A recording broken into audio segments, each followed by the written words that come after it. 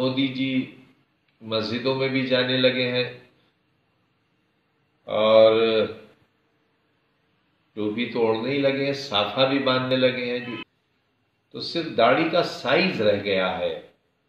थोड़ा सा अगर दाढ़ी बढ़ जाए तो तो इमामत के काबिल हो जाएँगे।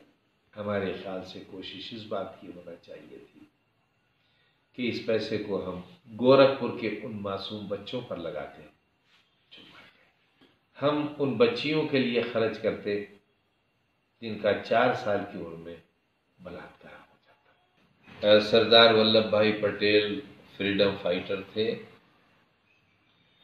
और आरएसएस आज़ादी के पक्ष में नहीं थी। तो आरएसएस को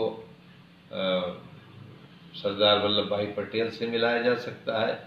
न सरदार वल्लभ भाई पटेल के चरित्र को, उनकी कुर्बानियों को आरएसएस से मिला जा सकता है। दोनों अलग अलग हैं। कई दिन पहले डिप्टी डायरेक्टर ने कहा था कि सेंट्रल गवर्नमेंट 2020 का मैच खेलना छोड़े। और ये कहा था कि भारत सरकार अपनी पॉलिसियाँ थोपना छोड़े। रिज़र्व बैंक के अपने नियम हैं, उन्हें अपने नियमों पर चलने दें।